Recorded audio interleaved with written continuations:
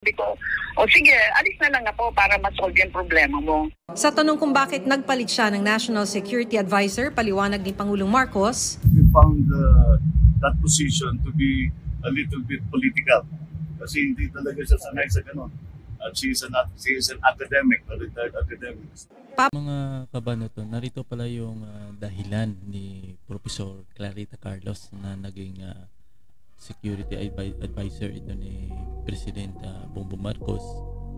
Ah, hindi naman pala siya tinanggal. Eh, sabi niya dito, kusa naman daw siyang ah, nagbitiw sa kadahilanan na hindi niya daw magampanan yung kanyang trabaho. So, mayroon siyang statement dito. Ipapakita ko sa inyo yung statement niya na ibinalita ito ng GMA7. So, ayon sa kanya, inyo nakikita sa screen, eh, sabi niya dito, ako namang tao, ako naman matalinong akong tao. I'm a, a social uh, scientist. I'm not, I'm trained to be an analyst. Sabi ko nga, o sige, aalis na lang ako para maka para ma-solve yung problema mo. So ibig sabihin may tinutukol may tinutukoy siya dito tao. Pero sabi niya dito eh hindi ah, may ibig sabihin umalis itong si Professor Clarita Carlos may problema talaga. In, in- in- ang sabi niya dito, pakinggan, ah, mainam pakinggan muna natin itong sinabi niya sa JMS7 bago natin babalikan itong issue na ito. Ito. Sa loob ng ilang araw, halos magkakasunod ang palitan ng pamunuan sa security sector ng gobyerno. Pinalitan ng hepe ng Armed Forces of the Philippines kasunod ng kalihim ng Department of National Defense at nung Sabado pinalitan ng pamunuan ng National Security Council. Hindi raw maaaring idetalye ang usapan pero sabi ni dating National Security Advisor Clarita Carlos, bumitiw siya dahil hindi na niya magagampanan ng trabaho. The position has become untenable. Kunyari, tatlo yung requirement ng position. Dun sa tatlo, merong isang nawawala. When the President talked to me nung Sabado, pinakita niya sa akin yung buong terrain. And ako naman, eh, matalino akong tao. At, uh, I'm a social scientist and uh, I'm trained to be an analyst. Sabi ko, o sige, alis na lang ako para ma-solve yung problema mo. Sa tanong kung bakit nagpalit siya ng National Security Advisor, paliwanag ni Pangulong Marcos, We found uh, that position to be a little bit political. Kasi hindi talaga siya sanay sa ganun. At she is an, she is an academic, a retired academic.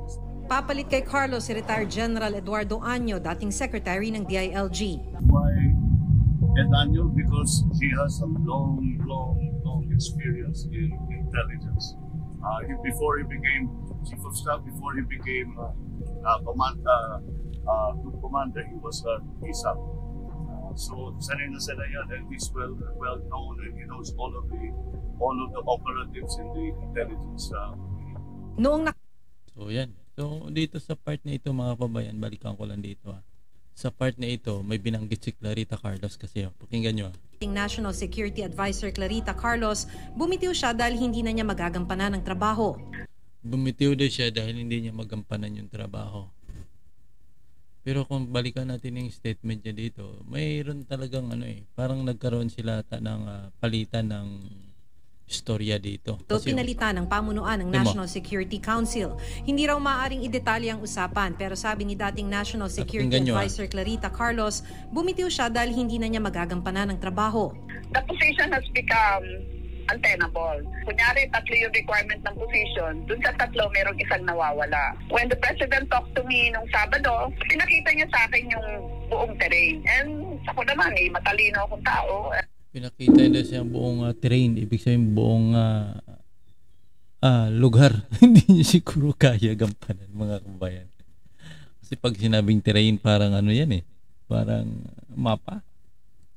No? Mapa yan. So, siguro hindi ko kaya yan. No?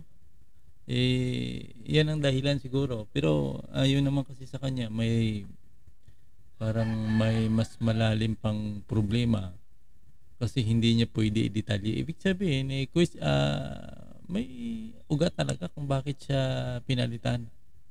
Eh, pero mas okay naman ang word niya ginamit kasi nag-resign ka kaysa tatanggalin siya ni President Bobo Marcos. Ayon nga sa paliwanag ni President Bob Marcos dito, oh, oh, uh, she found that position to be a little bit political. So parang ginag na dito pala sa tono ng panilitan ni President Bobo Marcos may something na nakita si President Bobo Marcos dito kay Clarita Carlos eh. Kasi she found that position to be a little bit political kasi hindi talaga siya sanay sa ganong uh, position siguro. She is an uh, academic, uh, retired academic. So parang ang ano kasi ang pagiging uh, national advisor ay hindi yan uh, parang ano eh masilan kasi na bagay yan at dapat ang loyalty mo talaga doon lang talaga sa gobyerno wala kang pwedeng hindi ka pwedeng mag-dual diyan di ba uh, talagang loyalty mo sa gobyerno kasi national advisor ka eh di ba advisor ka so baka siguro nakita ni President Bumar oy parang uh, taliwas ito sa kagustuhan ko eh. Bakit dito na itong si ano na ito ay kung ano anong pinagagawa. At ang sabi naman ni Clarita Carlos, mayroon daw tatlo daw requirement no? Kung balikan natin yung statement niya dito yo. Nga lang uh, the position has become daw untenable. Kunwari daw tatlo yung requirement ng position. Doon sa tatlo, mayroon isang nawawala uh, when the president talked to me yung Sabado, ipinakita niya sa akin yung buong terrain. O parang hindi niya kayang tanggapin yung trabaho. Parang hindi niya kayang gampanan yung uh, posisyon niya. Hindi ko lang alam kung sa posisyon siguro na dahil matanda na siya o hindi niya na kaya mag-walking-walking o di kaya sa tatlo na kasi may binanggit siya oh, sa posisyon. Uh, may tatlo daw requirements sa posisyon. Doon sa tatlo daw, mayroong isang nawawala. Ano yun? Diba? At doon uh, mayroon daw isang nawawala. Then daw, kinausap sa ni President Bongbong Marcos. Tapos ipinakita sa kanya ang buong, buong mapa. Ika nga. Ang lugar. Parang, di ba? pa buong lugar.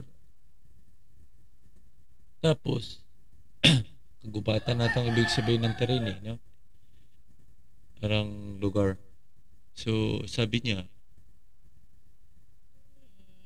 pero medyo ano eh, medyo questionable, may maugat, may hindi lang, hindi ako naniniwala na ang reason ng pagkatanggal kay ano, ito lang. Mayroon talagang mabigat na dahilan dito as uh, maganda lang ang term ang ginamit dahil hindi siya tinanggal ni President Bongbong Marcos. Kasi kung tinanggal siya ni President Marcos, napakalaking dagok ito kay Professor Clarita Carlos. Mas mainam lang word yung ginamit ay nagbitiw. Mas okay na siyang nagbitiw siya kaysa tatanggalin siya ni President Bongbong Marcos. Talagang sira yung pangalan niya. No? Masisira, daw, masisira. Kasi sabi niya nga dito, matalino akong tao. Tingnan mo. Sabi niya, ako naman ay matalinong tao eh I'm a socialist daw. I'm I'm trained to be analyst. An analyst. Si, si, uh, sabi ko, oh, sige, aalis na lang ako para masolve yung problema mo. Dito pa lang mayroong mabigat talaga na reason eh.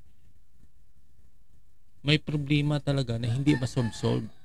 Tapos ang reason para masolve, sabi niya, oh, sige, aalis na lang ako para masolve yung problema mo. Parang itong si si Clarita Carlos, parang balakid Parang ganun ang pananaw ko dito eh.